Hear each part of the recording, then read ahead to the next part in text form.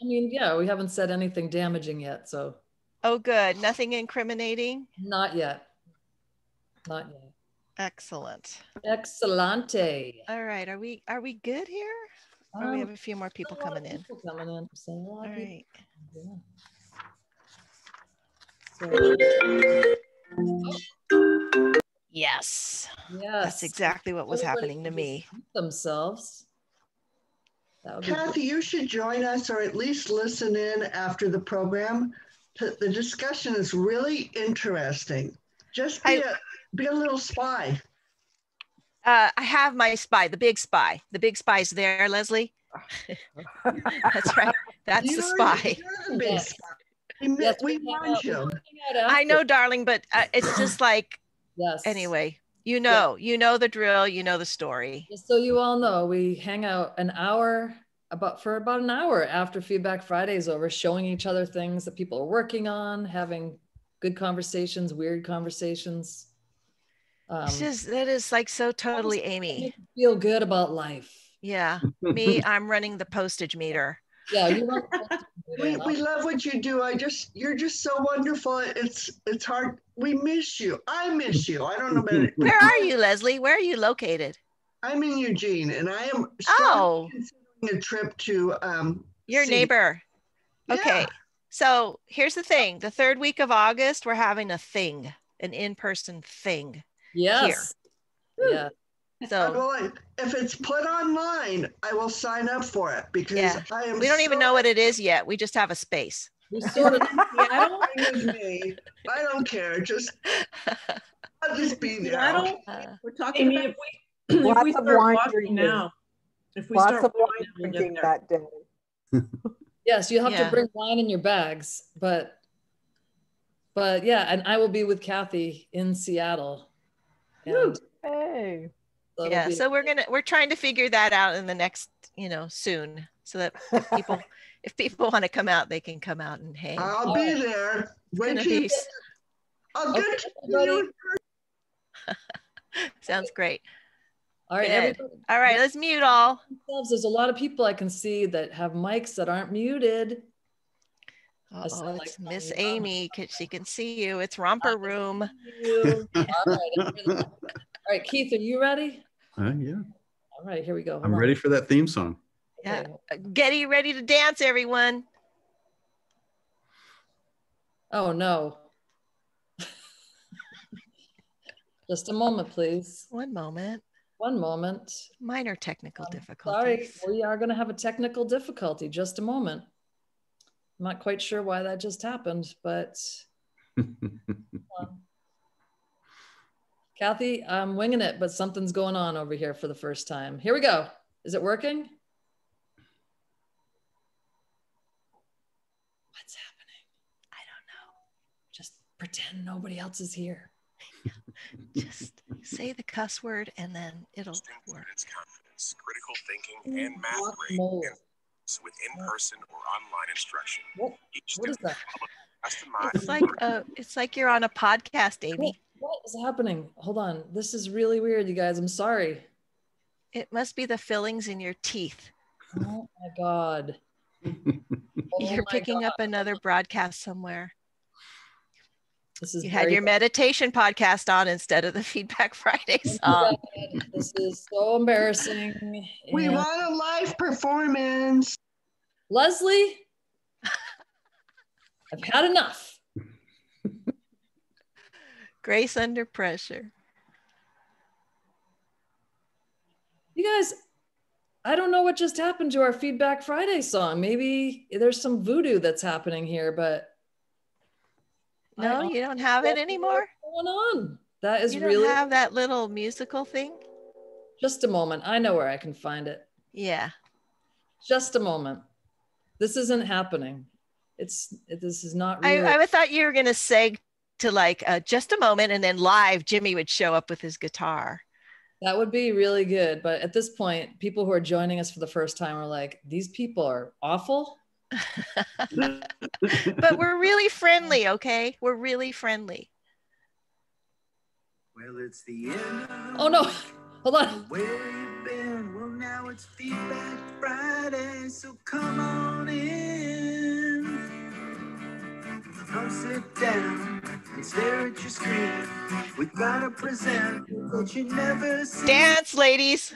Friday, we're on the loose. We'll be the train, you be the caboose. It's Feedback Friday with Kathy and Amy. Mashed potatoes and the gravy. It's Feedback Friday all day long. Feedback, feedback, feedback Friday. And good morning. A little bit of a rocky start. It's a good thing that we are taking tranquilizers. Um, but welcome to Feedback Friday, episode 54. We don't really think it's as funny as we're acting, okay? anyway, Feedback Friday is our weekly show where we speak with dyers, artists, scientists, writers, scholars, historians, growers, all sorts of folks who are interested in our favorite topic, which is natural dyes and color. And I'm Kathy Hattori, president of Botanical Colors. And we are really a professional organization, despite what you have just seen. Oh. And joining me today is our director of sustainability and communications and the person who presses the music button, Amy Dufault. Great. So pleased to bring you episode 54. We've done this 54 times. It has been amazing. Uh, I think if we went back to our first version, my hair was maybe this long. I was Almost waiting. I'm waiting for to find my hairdresser so I can get a, a trim. Um, today, we are so pleased to have Keith Recker, who, in, in addition to sharing some of the natural dye and pigment stories included in his book, True Colors World Masters of Natural Dyes. Can you see it? No, bring it down a little bit, Kathy. Bring it down. There, There we we go. True Colors. Um, far away. yeah, it's a beautiful book, and we we just listed it online. If you don't have it yet, it's something to look at. Um, Keith will talk about something really interesting: how the human eye perceives color and how entered languages around the world. He's visiting us from Pittsburgh and has been involved in color, cultural craft revitalization, and support. And my phone is ringing and design for many years. We're so pleased to have him join us. Um, before we start, it's one of those days. Says my internet connection's unstable, and so am I. Um, before we start, I want to send out a huge thank you to everyone who joins us for Feedback Friday. We couldn't do it without you. Yeah, you're frozen. I'm frozen. How's it going? Can you hear me? Kathy, you're yeah, we can we can hear you. Did you Was I me- doing like the da da da da da da thing?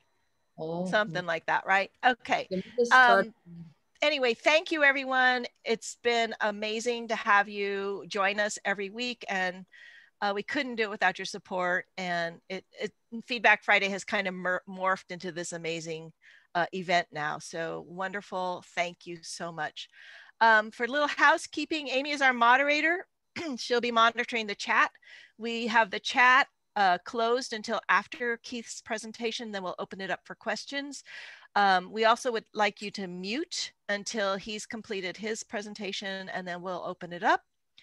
Um, and don't forget to stay tuned for picture of the week. Week, week, week. Man, it's just like, should have practiced more here. Um, after we announce who we saw as a standout this week, then we'll all say hello, goodbye, and um, get ready for the second part of Feedback Friday, which is the Amy show.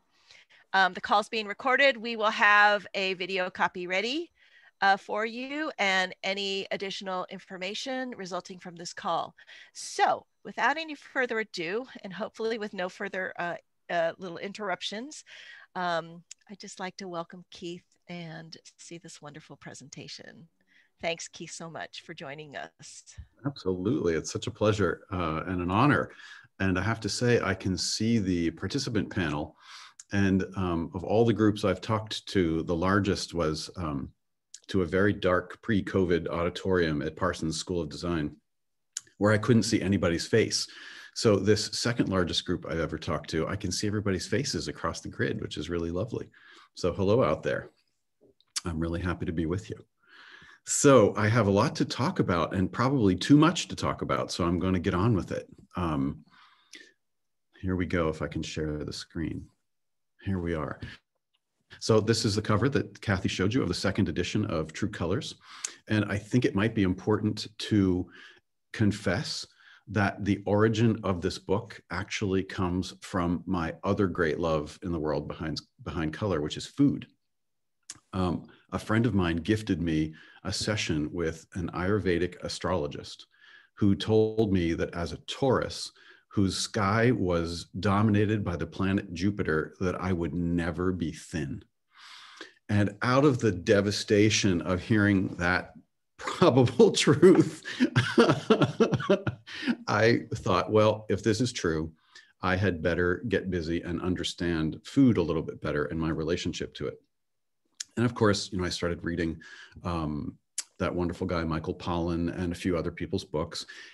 And I realized that all of these writings had made a pretty fundamental change in policy around food, let alone our own feelings about it, right?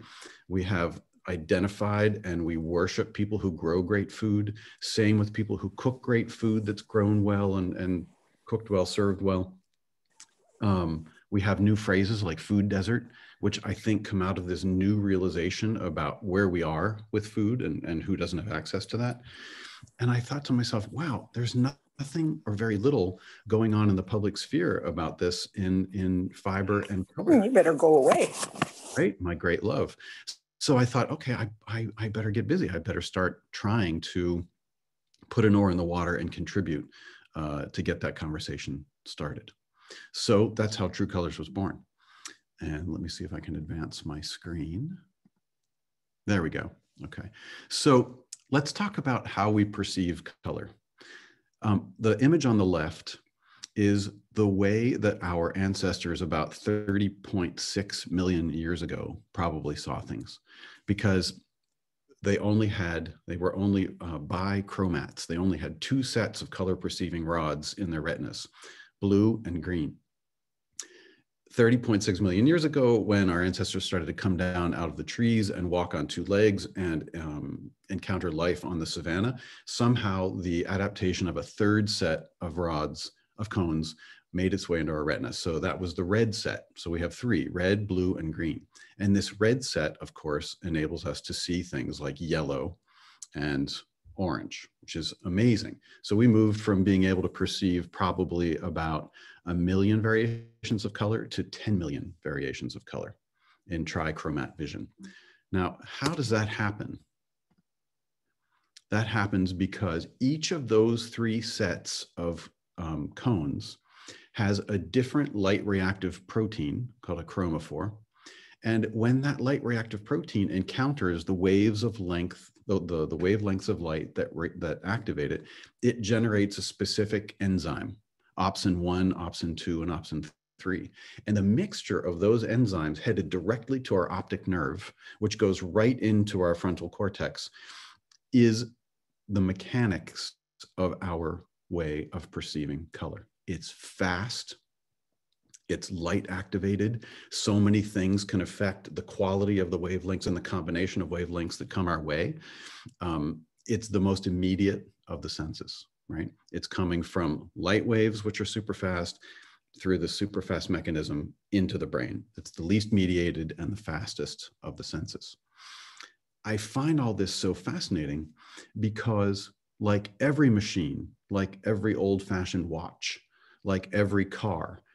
The way the machine acts and reacts over time is bound to depart slightly from the norm, right? Your car can veer a little bit to the left. Your passenger window can be stubborn in going up or down.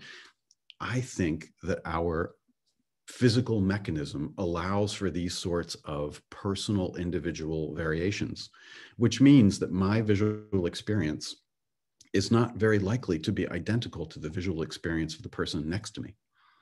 And that sends me into a whole range of wonderings about is this why it's so hard to communicate in words about color? Is this why it's so hard to communicate in words about all sensory experiences? That we're all having slightly different versions of reality come to our brains uh, for processing. I think it's fascinating. It helps explain so much, right? About reaching out to each other and overcoming those gaps and bridges between our experience and the person next to us. Now, trichromats, right? If we're seeing 10 million variations of color with relative clarity with the three sets of, of rods and cones, that's not the end of the conversation. I'm sure some of you have heard of the term tetrachromat. There is recent evidence of uh, a fourth set of cones being present in the retinas of about 25% of women and 8% of men. And scientists hypothesize, or not quite sure yet, that this additional processing capacity is on the yellow wavelengths. So this would mean that tetrachromats can see 100 million variations of color. And there are a couple of filmed interviews with tetrachromat artists trying to describe the nature of their visual experience. And part of the fascination for me is people trying to tell you what it's like not to see white because white breaks down into subtle shades of color, not really seeing black because black becomes dynamic with color, not being able to see any real pure dark value because the gradations in between each of those values are alive. So imagine if the standard visual capacity was multiplied by 10, what we might be seeing. And who knows whether this evolution will become widespread in the human population like the addition of red did, right? And we might wonder why red became widespread throughout the human population. Um, there's a lot of thinking that it had to do with being better able to perceive ripening fruit, right? That the red and red and yellow values of ripening fruit will be more apparent to us in contrast with the green. But there are some scientists who think that that's a bunch of hooey because there are plenty of other mechanisms to perceive ripening fruit, right? Scale, weight, smell, seasonality that we need not have been dependent on visual. There's a crackpot theory that I'm going to mention because I love it so much. Totally unsubstantiated, but again, I love it so much. That red became widespread through the human population because it's a social adaptation, that it gives us insight into our expressions of passion, of rage, of delight, of health or not health. And I find that fascinating. Imagine trying to perceive each other without the benefit of red without the benefit of being able to read the cheeks, being able to read the lips, being able to read the eyes fully, I think it does have something to do with why it became essential to our existence as a social species.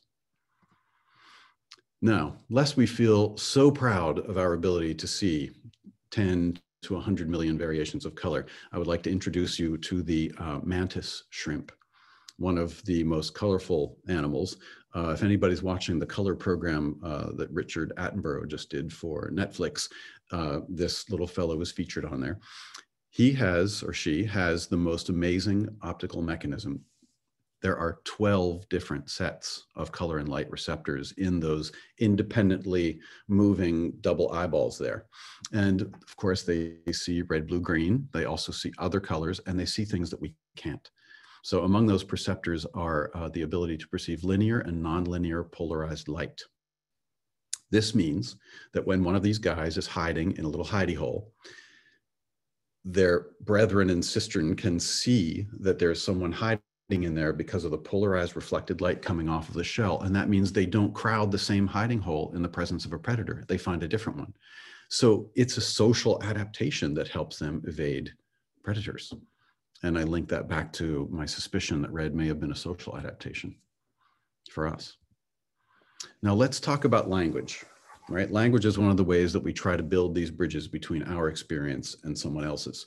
And the work of professors Berlin and Kay at Stanford in 1968, which they repeated with a bigger sample size in, in 2008, reveals that color terms enter human language, human languages around the world in a very predictable pattern.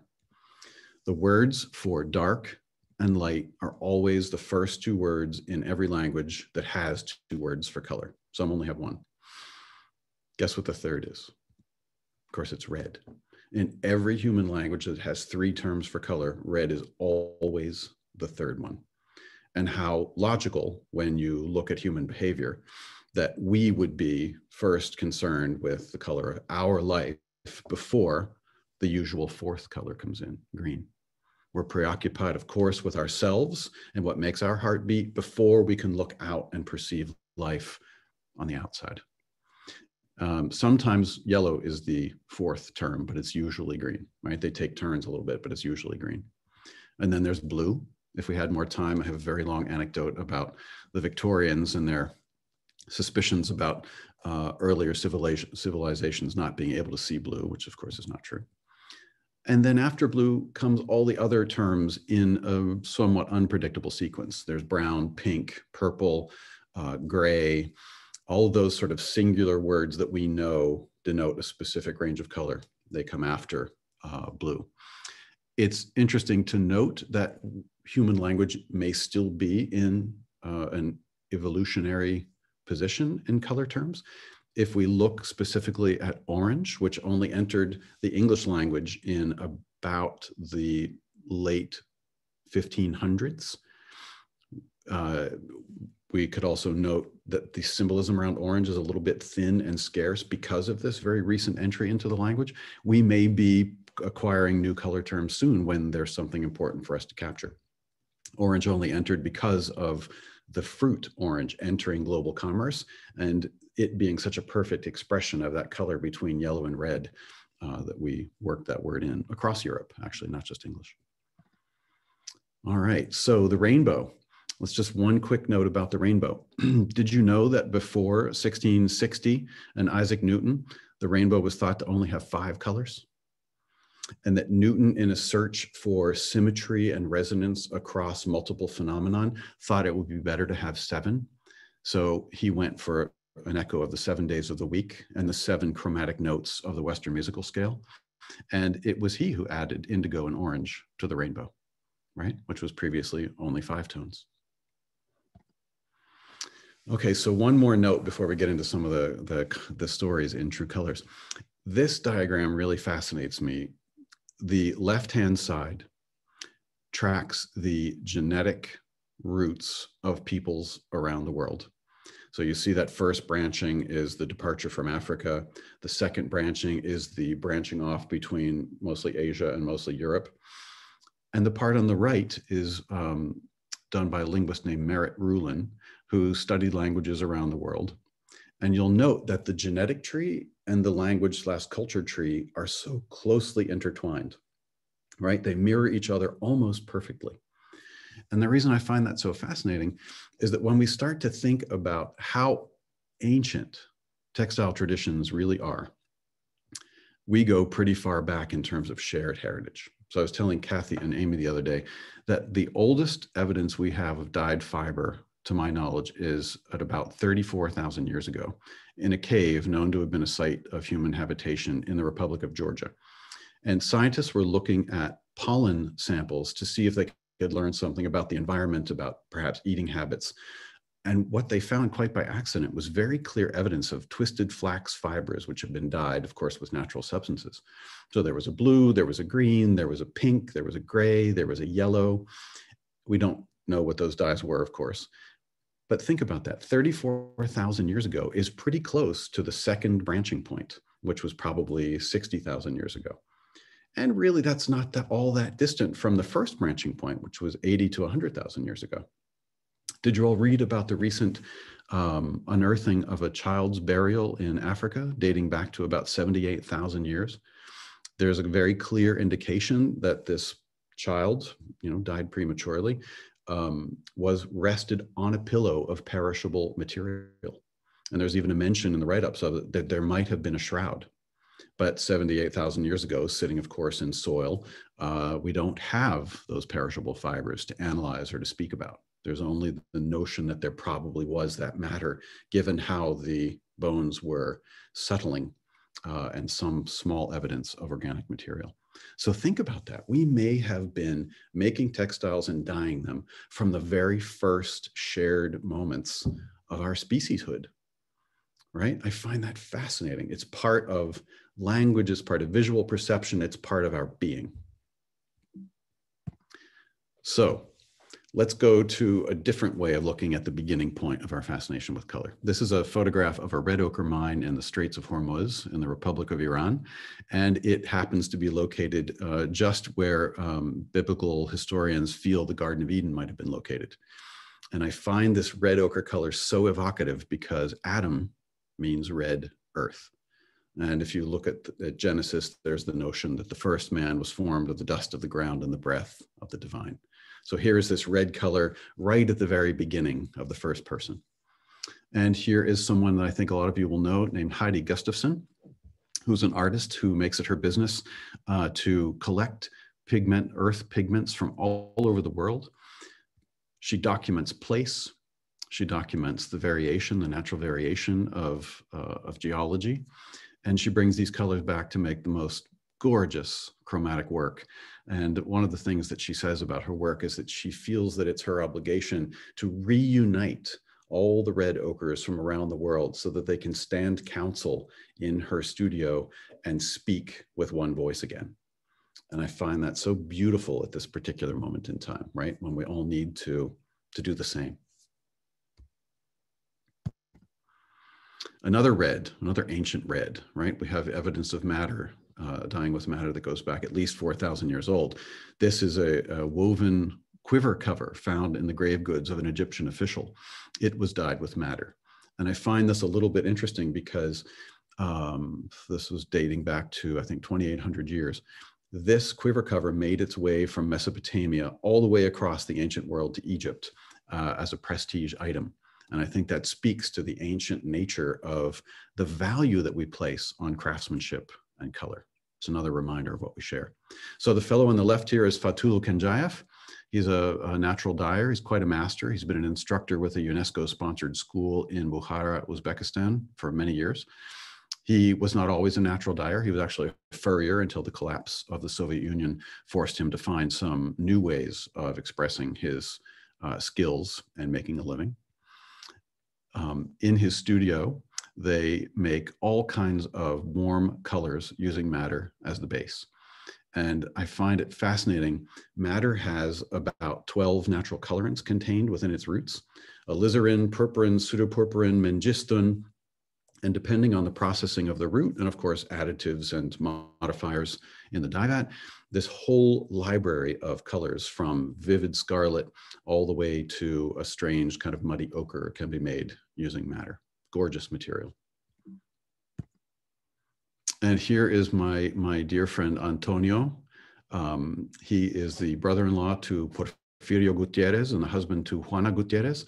Um, they're a Zapotec family specializing in natural dyeing and weaving. I'm sure a lot of you are aware of Porfirio, who is such an eloquent and descriptive uh, character uh, in terms of um, helping us understand more about Zapotec culture they hosted me for about a week in their studio in Teotitlan, and I got to observe firsthand the harvesting of the cochineal beetle, which grows on the petals of the Opuntia cactus. Um, it was and this bug was was domesticated by the ancestors of the current day Zapotecs about 2,000 years ago.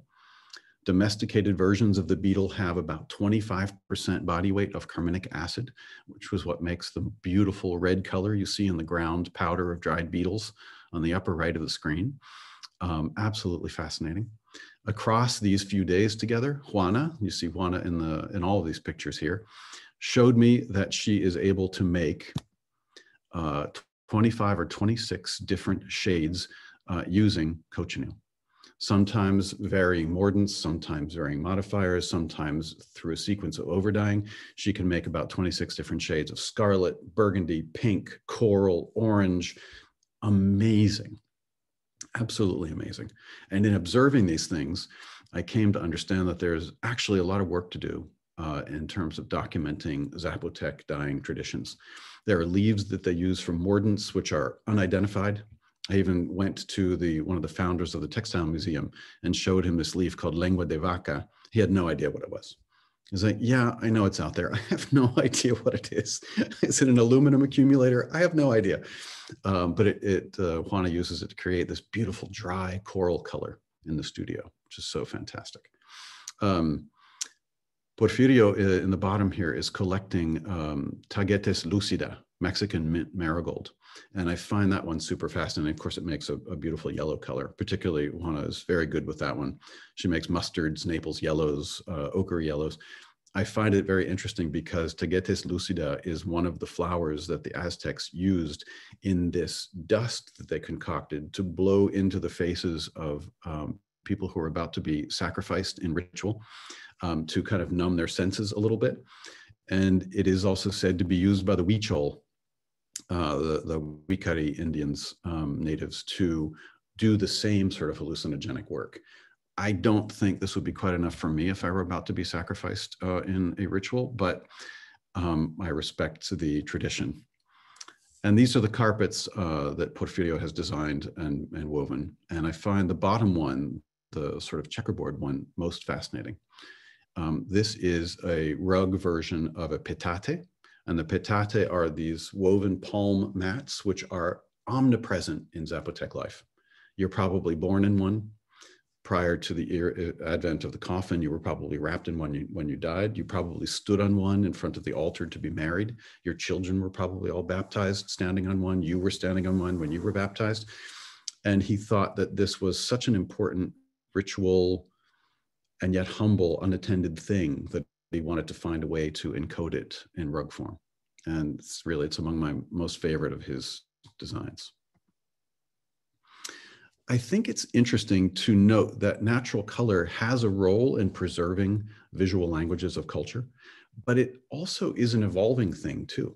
And I think we are starting to see it as a possible solution to environmental problems. So the slide here is of uh, a group called Avani, working in the foothills of the Himalayas. Uh, I think some of you know Rashmi Bharti. This is a plant called um, Ageratina adenophora, it, it is an invasive species that was brought around the world uh, as an ornamental garden plant. Its origins are in central Mexico. And in many places, it is a killer.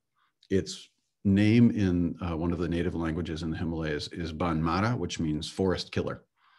So Avani saw this thing kind of going out of control and they tested it and it yields a very beautiful yellow color. So they're now starting to eradicate it in large parts of the forest floor so that the ecosystem can grow back. And they're paying people to do it and they're creating beautiful color. So you see the uh, green here at the bottom, that is Ageratina adenophora with some iron. And here's the more of the yellow version. There's an olive version. My favorite, of course, is the ball of yarn uh, at the bottom left, which is dipped quickly in an indigo exhaust vat. Um, I love that chartreuse color. It's one of my favorite colors. Um, yeah, absolutely gorgeous work.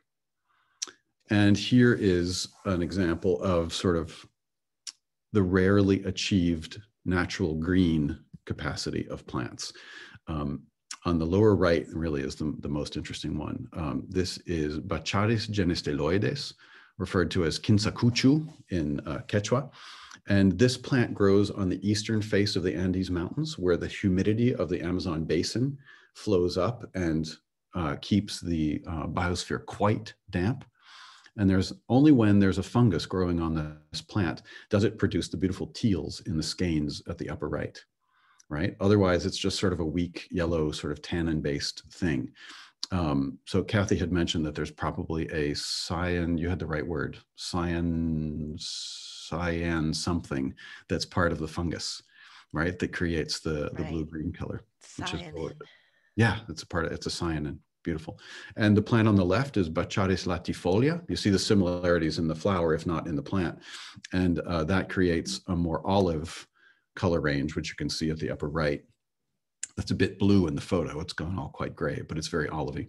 And this is Nilda Callañaupa, uh, who leads the Center for Traditional Textile, Textiles of Cusco.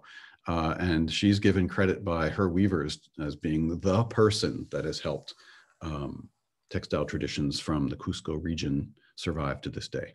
And she does such great work. So she wanted to, she chose these photographs and she wanted to show them because she wanted us to see why the colors from these two natural green making plants play a role in their color library. That for them, it's important to depict the variety of nature in as many pieces as possible. They're not monochromatic in their color orientation. They want to see it all. They want the full rainbow presentation in a good piece of textiles. Here's one of my favorites. I'm sure you, some of you are aware of um, Adiv Pure Nature, which is the creation of Rupa Trivedi in Mumbai. Um, through, I tell the full story in the book. I won't repeat it here. Um, Rupa had this realization that natural dyeing in India was all but dead, and she wanted to find a way to revive it. And her path to that has a lot to do with spirituality. So it's no surprise that she ends up being the first person ever to collect temple offerings after they've been wilted to turn them into a really beautiful language of contact dyes and dye vat material. And of course, the primary dye stuff is marigolds, which are offered by the millions and billions across India every day. Tradition demands that these temple offerings be scattered on the water. They cannot be treated like garbage. They're supposed to be scattered on the water so that the blessings of the offering can dissipate back into the universe. And Rupa convinced the priests at the biggest temple in Mumbai that what she was doing with contact dyeing and dye vats did that work, right? That the blessings would dissipate back into the universe through the steam and through the dye pot. So I love what she's doing. And she has a very loyal client, clientele in Eileen Fisher, uh, in Dosa, and uh, Kim Seybert doing table linens and a few other companies. This is Rupa and her chief dyer, Mukhtar every aspect of the business is sustainable and every aspect of her employment of people in a disadvantaged neighborhood in Mumbai is socially responsible. It's a real visionary proposition. And I feel like what she does opens up such an example to textile based companies of what's possible with this work. This, of course, is indigo, right? Um, I want to talk a little bit about indigo in West Africa. These are the dwellings of the Tellem people that is the Bandiagara escarpment, which is famous uh, because if you can see in the little top layer of the dwellings, the two top layers of the dwellings, those are sealed off, they have no windows. Those are actually tombs.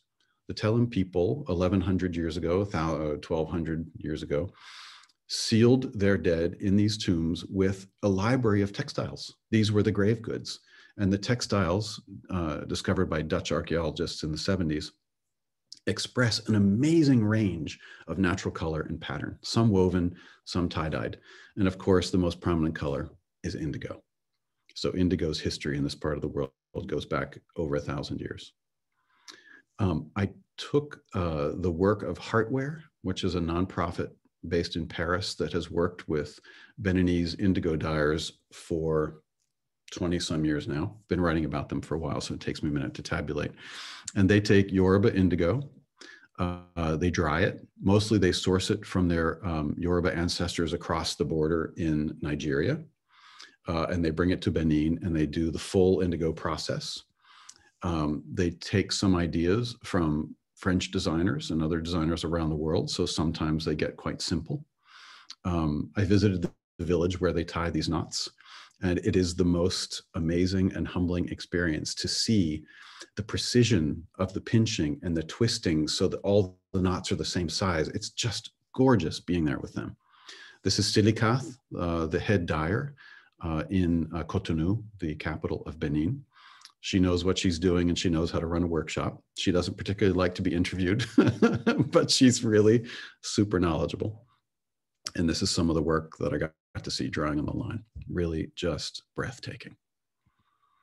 Um, this is uh, from Bolivia.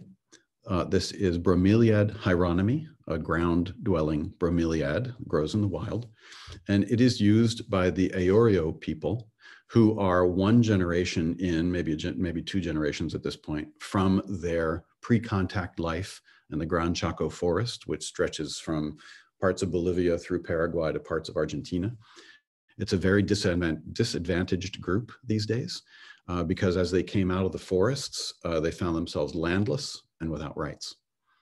And so they have very few ways from their culture of earning uh, a living. And one of them is the making of these gorgeous bags. I'm going to show the bags first. These are called utebetai. And the utebetai uh, were these different patterns. There were seven patterns. They delineated clan membership which I suppose in times of peace was good and in times of war was maybe not so good. Uh, these days, anybody can wear any pattern. Um, they are hand knotted. It takes 437 meters of thigh spun bromeliad fiber to make one modestly sized bag. The only reason these bags still exist is that it is still a mark of serious uh, respect and esteem for a man to carry a bag who's been made for him by his wife. The women themselves make bags out of wool and acrylic and market available fiber. So as soon as the men no longer place esteem on this, uh, the craft form is likely to fall into disuse. So we may be about 10 years away from losing that amazing art form. So they use uh, they use different kinds of bark for the most part. Uh, one kind of berry to make kind of a blue black. It's a very simple and amazing craft. And here is um, Habacuc Avendaño. He's one of 19 men who have a license from the Mexican government to harvest the uh, shellfish purple of the southwest coast of Oaxaca. This is a Mixtec tradition that goes back at least 1500 years.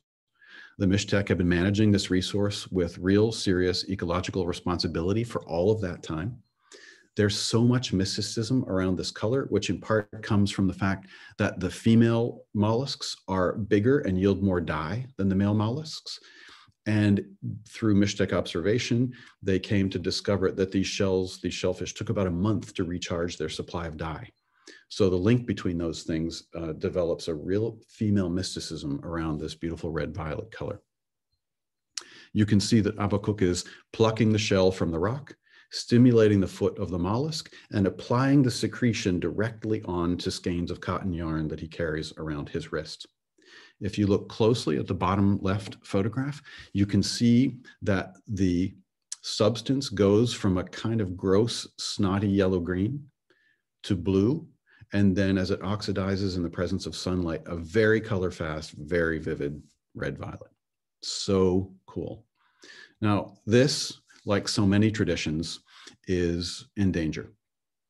The, the shellfish population has plummeted in the last few years. At first, because a Japanese company came in and was actually killing the shellfish on their way to creating the, the beautiful red violet color. That was stopped. And now the, pop, the, the shellfish population is in danger because local fishermen are catching them with regular shellfish to cut up into ceviche and serve to tourists. So we are within probably five years of no longer having this dye available to us.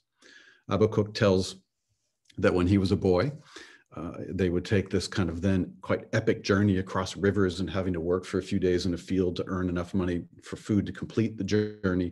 They would spend months at the seashore, uh, mostly during the summertime, and then come back with about 40 sacks of triple, quadruple dyed uh, purple yarn, some of it quite, quite dark and glossy. And now they're able to single dye, which ends up with this lilac color you see here, uh, only about 16 skeins of yarn. So we're really at a, at a dangerous moment with this. Um, the cloth that you see in the background is a posahuanco. It's a traditional women's wrap skirt. There's still women who know what the symbols woven into these strips mean, not too many. Um, these are the three sacred colors of Oaxaca, cochineal, which we talked about with Juana and Porfirio.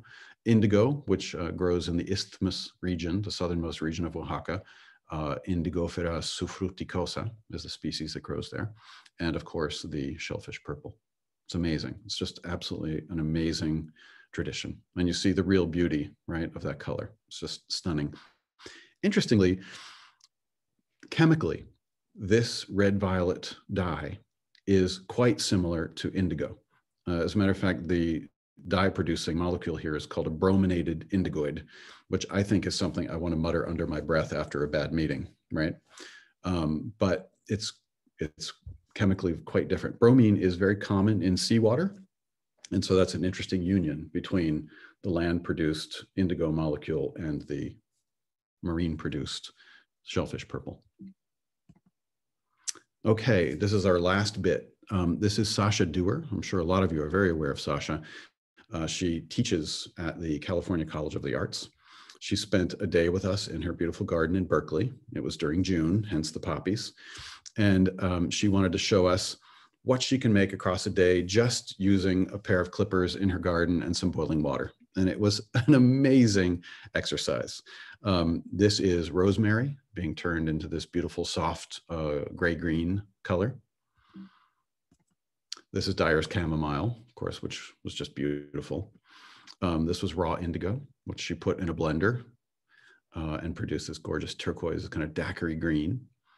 Uh, she did some dyer's weld with us. Uh, the spruce tips are from a different dyeing session. Um, the vivid yellow and orange on the lower left come from citrus peel. She seems to be able to coax color out of so many things. And all of this is done um, because she feels that it's her job to provide a gateway drug for her students to achieve what she calls a state of eco awareness. And eco awareness is a term invented by Steven Rockefeller, who was Sasha's dean and instructor at Middlebury College in Vermont. He was also instrumental in drafting the Earth Charter, which was adopted by the United Nations in the 70s. And the Earth Charter says a lot of things that we would recognize about environmental responsibility and you know taking care of the Earth. But the reason I'm bringing it up today in the in the context of eco awareness is that it also has some super eloquent language from Rockefeller himself about our obligation to educate future generations about what the environment brings us and why it's important. And it was Rockefeller's conviction that humans are capable of ignoring data until the cows come home. That just because we have information does not mean we do the right thing, doesn't mean we think the right thing, doesn't mean we believe the right thing. His thought was we have to have these juicy, meaningful sensory experiences so that we're in a relationship with our environment. And only then, when we have that emotional attachment, can we think and commit and not swerve from what we should be doing and thinking?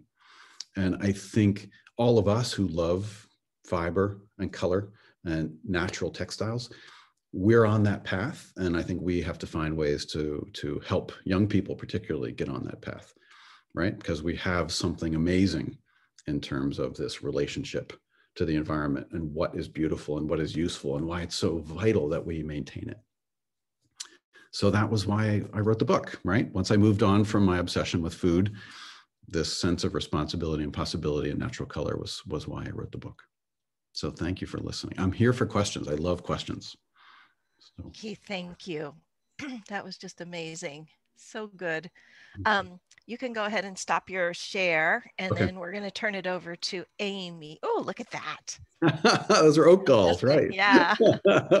Our, someone someone emailed or I guess it was on Instagram. They said, "What are those little beads that you have?" And it was like, "Oh yeah, they do look like beads, don't they?" They sort of do. That was really really fascinating. I just love that cultural and genetic development chart that you showed. You know, you were on it for a while, so I could like kind of read it. It was pretty incredible how pretty. we how we just evolved that way. Yeah. Um, okay, Amy, I'm going to turn it over to you. Okay. Let's see. Let's just jump on in. I hope we have no mistakes. Thanks, Keith. I hope so, so too. Helen's asking, what are the additions to the second edition of the book? Yeah, um, the work of the Beninese group is the big um, addition. And um, I, if I can confess, I was made aware of one error, one actual factual error that I had where it made that made its way into the book. If you want, I'll tell you what it is um, I was feverishly trying to complete one of the chapters, and I was doing some research in an old library in New Mexico. And I went to a dictionary to trace the etymology of the word woad. And I swear to God, in that dictionary, I swear to God, it linked it to the word weed.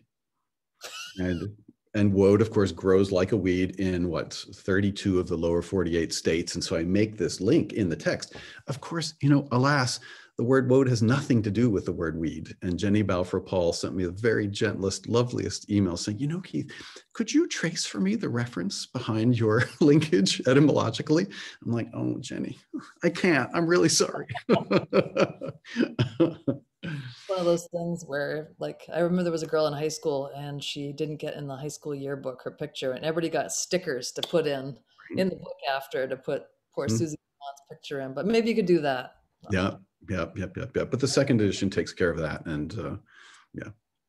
Okay, let's see. Is there a reason why the Mexican purple mollusks can't be farmed? That's a great question. I have never heard anyone um, begin to discuss that, but that could be a potential solution that emerges.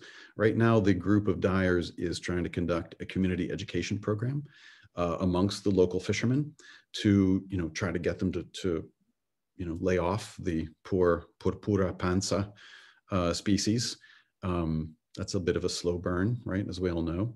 And um, but that's a great that's a great question. I've not heard anyone talk about it. I spent some time talking with the great and amazing Marta Turok, who was instrumental in getting this listed as an endangered craft and as something of national importance. And I've not heard her mention farming either. It's a good question. Hmm. This is a great question too. Do you think we will evolve to see more new colors that we don't see now? It seems inevitable. It seems inevitable. The way in which we are perceiving reality has so much to do with technology now um, that you would think that we would begin to sort of grow in a slightly different way. And also the way in which our environment is endangered and the ways in which that may have an effect on our health you might think that we would we would begin to be able to perceive whether that's evolution or social habit i don't know we would be able to begin to perceive the signals of health and not health in the environment in a different way as well mm. so that may be you know an adaptation of vocabulary and a habit of seeing as opposed to evolution but perhaps it's also evolution mm. fascinating see. Um, I wondered selfishly if you know of any dye traditions in Scotland. That's such a good question. Yes, yes, I do. And um, not many, right? But there are certainly natural dye stuffs that have to do with the coastal environment of Scotland um, that are fascinating. I'm not an expert in it by any means, but I love stories about seaweed. There are also some stories, ancient stories, that there are various uh, shellfish species which were used to make fake or augment fake imperial purple in the ancient and medieval world. So, and I see a question here about uh, whether the Mexican mollusks are related to the unknown purple mollusk in Israel, right, uh, that went into Tekhelet. And I think that all of the Mediterranean species that I'm aware of that went into imperial purple in the Roman world needed to be killed, unfortunately, in order to release this chemical in the hypobrachial gland. Whereas in the Mexican shellfish, it's much closer to the mouth of the mollusk and they make more of it. So you can just stimulate it, which I'm, I'm, just talking around the fact that they're probably frightening it, right? Because they're releasing this chemical, which in their case is a neurotoxin they use to subdue their prey, which is smaller shellfish. Um, but in the Mediterranean traditions, the shellfish had to be killed there wasn't that much of the necessary chemical in each mollusk, so they had to kill thousands upon thousands upon thousands to get a few grams of dye. And there was also some kind of fermentation process. It's not all perfectly, uh, of course, perfectly documented, but it sounds a lot like the multiple step process of indigo, right? Taking things, getting access to the chemical outside the confines of the cell, creating an environment where it probably can be broken apart so that it can be water soluble, taken up by the fiber, and then removed and reoxidized. It's this multiple step process that probably resembles indigo. Okay. So let's see. Um, which came first, do you suppose, the color name carmine or the chemical name carminic acid? Uh, I think carminic acid came from the word carmine because it produced it, right? So the chemical awareness comes later, more or less scientific age. Um, and I think carmine comes from the word kermes, right? Which was one of the European scale insects that was used to make red in the ancient world. So I think the, yeah, the word kermes, carmine, and then carminic acid. Good question. Cool question. I hope you can answer it. Uh, I have heard several people, women who are painters, say that after they had a cataract operation, that they saw completely different colors or saw colors very differently after their operation. Do you have any theories as to why that might be? Well, sure. You know, I'm going to give an example of of why the sky is blue and the sun is yellow. Right when the when the full spectrum wavelengths of sunlight reach the Earth's atmosphere, the gas molecules of our atmosphere scatter the bluest values of the spectrum to some degree, which is why we see this blue vault over us. And as a result of that scattering, uh, the sun looks a little more yellow, right? Because some of the cooler end of the spectrum has been removed from the light that's coming down to, to greet us. So same thing when you have cataracts or some occlusion in your lens or in your retina, you're probably encountering not the full spectrum of light. There's interference enough that your perceptions, what's coming to your retina are, you know, not full spectrum. Okay, that's great. Um, lots of questions about about things that are happening to eyes and how people see differently. But we're going to take one more question because we're at twelve fifty eight, if you can believe it. Right. So Angela is asking, besides your love of food and color, how did you come to do this kind of research and writing? Um, I have confessed, you know, to other to other groups um, who've asked this question. I've never had a course in art history.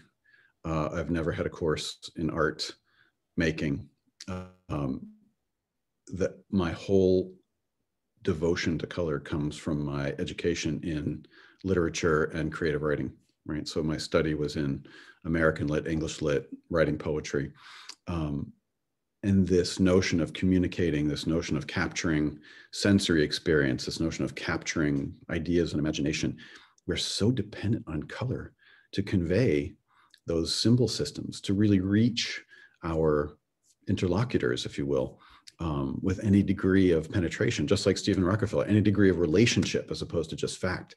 We're so dependent on color and it, I've always been attracted to color. Uh, when I was young, particularly, I had um, pretty vivid synesthesia. Um, it's a little bit duller now. And so I knew I was having an experience that other people weren't having. And trying to find a way to express all of that in words really cultivated my interest in color. Later on, when I entered the retail marketplace, um, Saks Fifth Avenue, Gumps in San Francisco, Bloomingdale's, um, I realized that part of my job was to communicate via color to the consumer and to tell a story that the consumer would be interested in that would fill a thirst or a need uh, on their part and you know that really began my relationship with pantone and wgsn and color association of the usa in terms of trend and color forecasting so it's a long answer to say that it all comes from this desire this need to connect and communicate and we as humans have a few ways to do that and you know words is one color is another Fabulous. Thank you again, Keith. thank you it was you so are much so welcome to stay and hang out with us. Um, I'm just going to do the some reminders for people and then talk about who we are um, hosting next week. And then Amy does picture of the week. Well, I am going to stick around. I'm going to I'm going to hide myself, but I am going to stick around. So thank you all for listening. It was such an honor to be with you, and and maybe we'll do really it again. great. I really Great. appreciate. All right, so let me just go through a few um, announcements. Um, the uh, Mother's Day is coming, guys. Mother's Day is coming. um, so if you forgot to get mom something and she's a natural dyer, we have gift cards on the site. Um, have a look at those. Uh, we also uh, just dropped some um, beautiful hand spun, hand woven fabrics, some of them indigo dyed from 1111, which is the clothing brand based out of India. They're really lovely. So if you have any interest, um, those are on the site. We still have our kits on site uh, on sale. So treat yourself to one of those. We've got Cara Marie Piazza's uh, botanical dyeing kit, Kristin Arzt Scrambles Quilts Instant Indigo Shibori kit, and then our very own dyes of the Americas, which includes the uh, Tagetes lucida that Keith spoke about, which um, is called Pericon. And um, also just I have a huge ask for everybody, and that is two things. I have two asks actually. The first is um, a thank you that those of you who have been donating to our scholarship fund, to let you know that we were actually able to fund um, five scholarships this season. And so five people were able to attend classes and workshops that they normally would not have been able to. Um, we would like to extend a few more uh, this summer. And so if you are of the inclination, we would welcome those donations. Even small donations really added up and helped us just defray the cost of um, being able to help people join in workshops that they otherwise wouldn't be able to uh, participate in. So thank you for that. And just want to kind of give that a little bump if you're um, interested.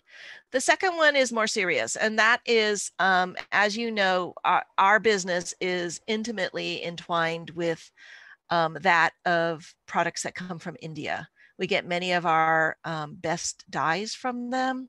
I have very long relationships with people that I've been working with since um, the early 2000s.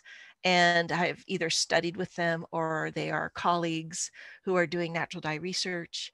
And as many of you, probably all of you know, um, they are experiencing a horrific and tragic COVID surge. And so Amy has in the chat um, a few organizations that um, I've donated to. I we, we're not holding our own fundraiser, but there's a spice company out of Oakland, California called Diaspora that I spoke about last week. They're running a, a fundraiser for oxygen tanks, concentrators, PPE, um, also food. You know, if you're locked down, it's hard to go get food. You know, in India, there's a lot of going to the market every day, getting the foods you need, cooking those foods. And they're not able to do that right now because they're all, everyone's locked down in the large cities in order to try to stop the spread. So have a look at that in the chat. If you are able, um, please help out those, those incredible artists uh, and businesses that are helping us create natural dye, um, natural dye experiences here in the United States. We have very few dyes that are native to the United States that we can buy in volume. So we get a lot of things from uh, Central Asia, um, Central America, the Americas, and of course, India. Um, so if you can help at all, I'd so appreciate it. And that's it on the reminders. Next week, we have Natalie Chanin coming from Alabama Chanin. Um, this is such a treat. Natalie is a legend in um, the sustainable fashion industry. She left New York and went to Alabama, which is her birthplace, to create a, a, vernacular fashion coming out of Alabama and using the incredible stitching skills from her own um, hometown. And so she's going to be joining us to talk about um, an overview of 20 years of finding a sense of place and the Alabama Chanin seed to shelf cottage industry business model, as well as her design process and experience working with natural dyes and a domestic supply chain. Um, we'll also be able to show you a natural dye collection that we've been part of and um, that they are launching next week. So join us then.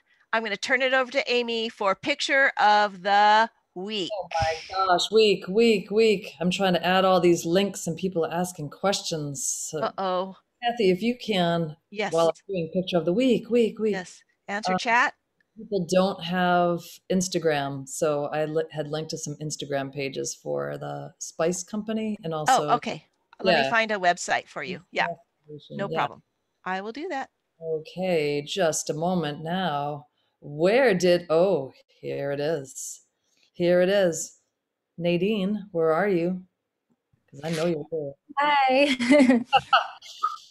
First of all, Nadine's amazing. And she is a prolific natural dyer, uh, soft sculpture creating, bed sheet dressmaking, biomaterial creating, pigment making artist. She blows my mind. So I last week couldn't believe how many pictures that we were tagged in. And this one, I was like, wow, this is really, really beautiful. What did Nadine do now? well, um, so, anyways, Nadine, why don't you just tell us a little bit about this picture? I know, I think it's, yeah, talk about because you were with Cordwainers Dye and something like that. I think it was yesterday, but talk about this picture. What did you do? Um, thank you, Amy. Uh, I'm just so excited to be here with you guys. Uh, so with this picture, I was experimenting with different sources of uh, colors that I thought would potentially be yellow. Um, and it's a mixture of both foraged and uh, dye extracts from botanical colors. So um, I was really, I was doing this process to um, really get to hone my relationship with uh, uh, how the materials react with each other. So it's, I 100% agree with everything Keith was saying. This is so perfect because everything he was saying is what I think about with my work. I, I really believe that the more you um, can build a relationship with the color by through experimentation, the stronger of an artist or craftsperson you will be. So um, I was I was playing around with different modifiers and different ways of applying the inks and just paying attention to um yeah how they how they turn out Well, um, I just want to see if I can also get to, let's see. Oh, hold on now. There's Nadine looking amazing. But yeah, there's, so Nadine also, I don't know what is happening with my computer today. I'm just like going to give up soon. But um, so Nadine has also been, she hangs out with us uh, our after our after Feedback Friday hangout every week. And we never know what she's going to be working on, but I think this is what you've been working on too. She's going to a, what, a friend's wedding? And then you were trying to make a dress. Is this the same dress that you're trying to make? So nobody knew it was a bed sheet? Uh, no, so this is different. I made this because I was thinking a lot about yellow uh, for the Cordwainers Die talk, and it inspired me to create this piece. So this is completely separate from my my bridesmaid dress. I I make a lot of clothing out of bed sheets and curtains. In fact, I'm wearing a curtain at the moment.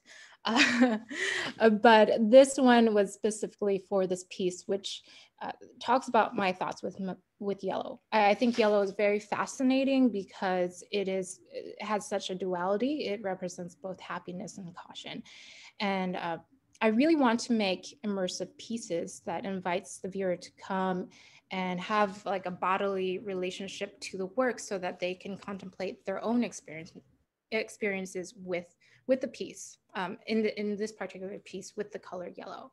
I, I want people to uh, question how they feel themselves because our um, you know colors are a conversation just just like uh, just like what Keith was saying uh, colors are a way to communicate uh, so I want people to become aware of what that that's communicating to them. Well, thanks, Nadine. And so this is Nadino at Nadino on Instagram. And you'll see all these crazy mad scientist experiments that Nadine is constantly doing. And it's just exciting to watch what you're doing. So thanks for tagging us and thanks for doing all the, the cool things that you do outside of what happens here on Feedback Friday and all our great conversations. Nadine, where are you located? In Los Angeles, California. Oh, great. Good. West Coast. Yeah. All right. Thank you. Thank you, Nadine. That was amazing. Thank you. Thank you, you guys. All right. Well, I think we're good, right? that was a really weird Feedback Friday. So maybe, you know, it No, was it wasn't weird. This is how we started. Remember when I used to have coughing fits and happened lose my tr- lose track? and, You know, I couldn't read my script. Yeah. We just had a little throwback day. It's okay. You know what? You guys all got to hear the song, so I didn't at least let you down there, but I'll have to do some troubleshooting on what happened with the Feedback Friday song. So apologies for No, no worries. No worries. All right. nervous at all. It's 1010. I'm going to run away. All right. Amy, I'm stopping the recording.